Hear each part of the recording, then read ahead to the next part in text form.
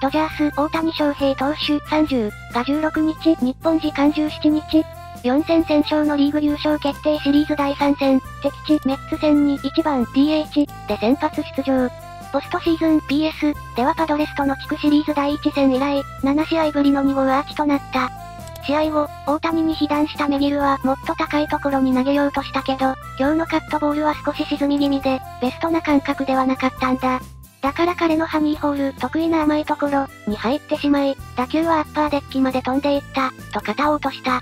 一方で大谷にヒットを許さなかった先発、セベリーノも、俺たちは危険な打者たちを地に歩かせなければならない。ベッツや大谷は歩かせる必要がある時は歩かせる。ヒーローになろうとしてはいけない。フリーマン、マンシーも対戦するのが危険だ。ワイルドに行くのではなく、気をつけて投げている、と話した。以前、ロバーツ監督がコメントしたように、一振りで全てを変えてしまう、それを目の当たりにしたような今日の一発だった。メッツもペトコパークもあの一振りで一気に戦意を消失した。